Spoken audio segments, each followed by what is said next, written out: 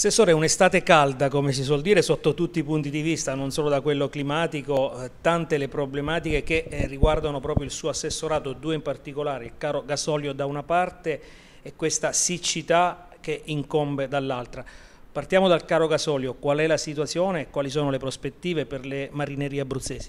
Beh, oggettivamente è un'estate complessa, complicata, difficile, definita calda, ma eh, soprattutto critica per gli operatori, per tutto il settore sia agricolo che della pesca. Eh, soprattutto ecco, il caro gasolio per il settore della pesca eh, sta generando problemi in tutta Italia, problemi nella nostra marineria, di difficoltà eh, enormi per uscire, per andare a mare. Noi stiamo spingendo insieme a tutte le altre regioni italiane proprio per far pressing eh, sul governo. Una delle azioni che è stato prorogato il credito d'imposta è stata una delle azioni che siamo riusciti a mettere eh, in campo a breve. Faremo anche un intervento un po' complessivo come Regione Abruzzo che abbiamo a disposizione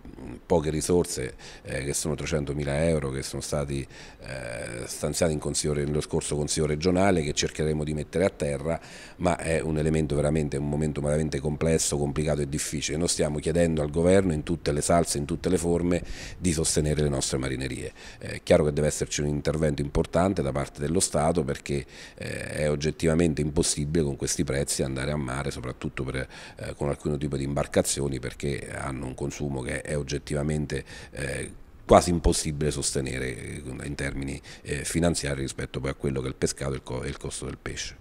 Tutti aspettano la pioggia, la pioggia non arriva e ci sono problemi per eh, gli agricoltori con i prezzi di frutta e verdura che salgono.